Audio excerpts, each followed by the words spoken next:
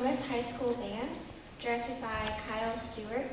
It will be played Marching Grenadiers by John Quignon and Majestica by Glaze.